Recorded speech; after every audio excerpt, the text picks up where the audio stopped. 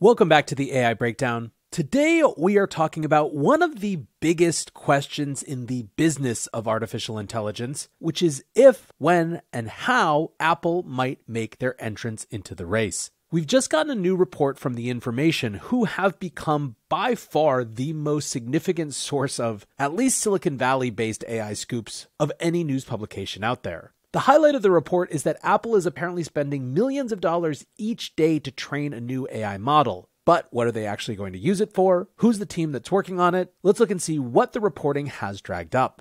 So, a couple pieces of information in here. First, the information reports that John Giannandrea, who is Apple's head of AI, first authorized the formation of a team to develop conversational AI, i.e., LLMs, around four years ago. The team is called Foundational Models and is led by Ruoming Pang, who is an ex Googler who worked with Giannandrea when he oversaw Google's AI research arm. The information reports, quote, the team remains small, numbering around 16 people, but the budget for training Apple's most advanced models has grown to millions of dollars per day. Continuing, they write, the foundational models team at Apple plays a similar role to that of AI teams at companies such as Google and Facebook, where researchers produce the AI models and other groups then implement those models into the company's products. Now, in addition, the information writes, quote, there appear to be at least two other relatively new teams at Apple that develop language or image models. A recent Apple AI research paper and employee profiles on LinkedIn point to the existence of a visual intelligence team working on software that generates images, videos, or 3D scenes. This is probably not that surprising given how much emphasis Apple has on augmented and virtual reality, given that their biggest release of this year is the Apple Vision Pro.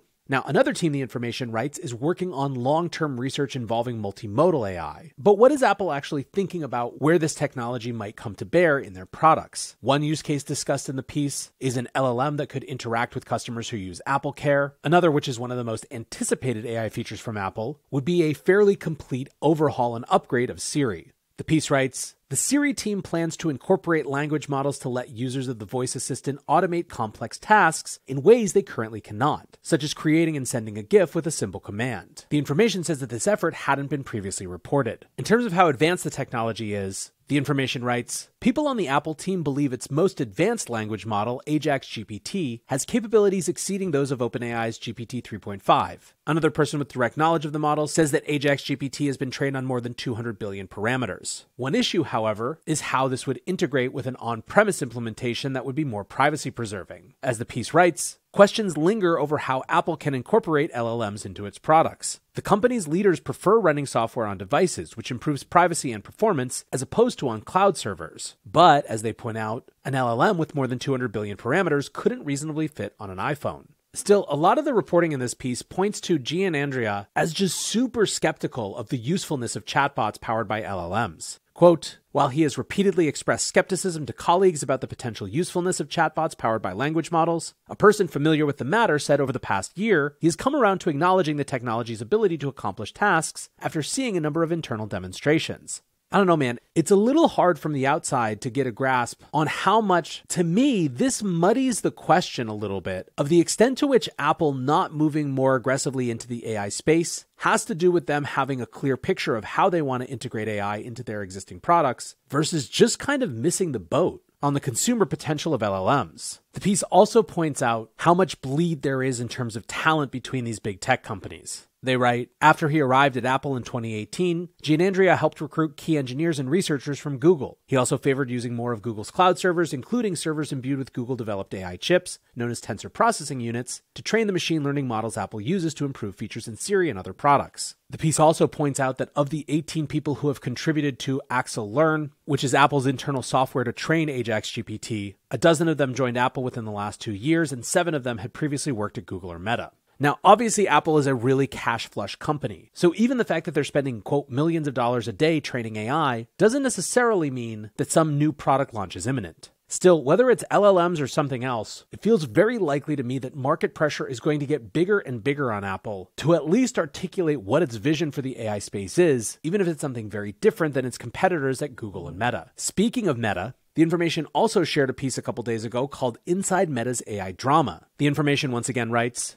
Many of the scientists and engineers who worked on Llama have quit, embittered by a previously unreported internal battle over computing resources, with another Meta research team working on a rival model that the company ultimately abandoned. Specifically, the information writes more than half of the 14 authors of the original Llama research paper published in February have since left the company. Said Joelle Pineau, the head of Meta's artificial intelligence research lab, quote, retention and attraction of good talent is probably where I spend most of my time. Of the research scientists and engineers who have left, a number went and founded a startup called Mistral AI that was notable for having raised a $113 million seed round, and others have gone on to join companies like Apple.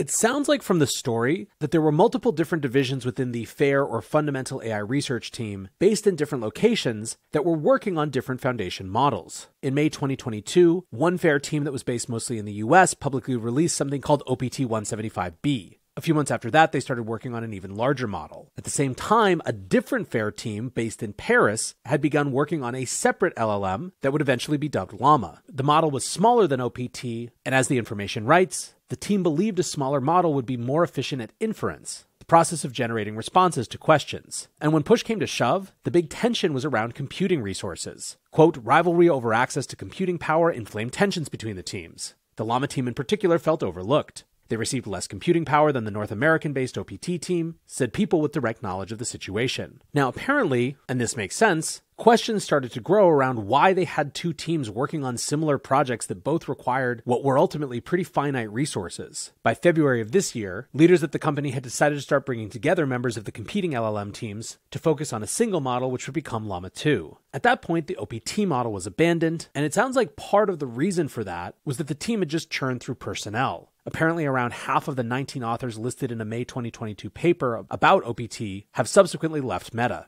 Now, you might think that given how significant and influential Llama has been this year in, in shaping how generative AI is developing, that some of these tensions might start to go away. However, according to the information, quote, despite the success, tensions are still shimmering among researchers as Meta's attitude to AI research is evolving. FAIR has traditionally had a bottom up culture led by researchers, with a mission centered on advancing breakthroughs in AI. But as Zuckerberg has become more intent on incorporating AI into Meta's apps, FAIR's focus has narrowed. It has canceled research that doesn't have a product slant, such as work on protein folding.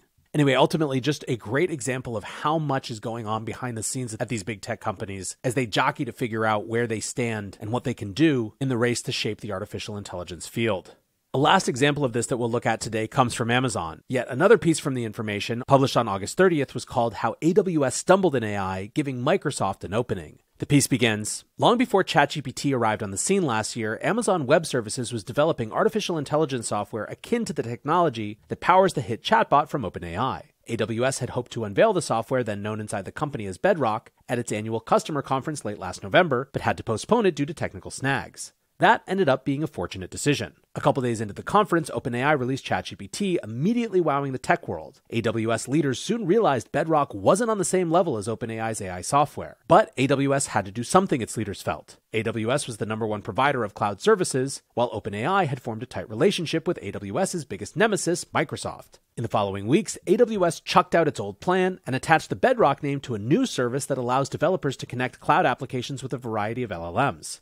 The change of plans, the information writes, details of which haven't been previously reported, illustrates how ChatGPT's sudden surge in popularity caught Amazon off guard. Now, heading into the fall, a lot of the focus is turning to Google and the extreme expectations that they're pushing around their Gemini model, which, based on the amount of compute alone, is being positioned as one of the first serious competitors for OpenAI's GPT 4. This battle is quite obviously going to shape all of the tools that you and I use and dictate a lot about how the industry evolves, so it is one that we will keep our eyes on closely. Will Apple actually jump more fully into this race? Only time will tell, but it certainly sounds like they're starting to spend the money that they might need to if they're going to get in the game.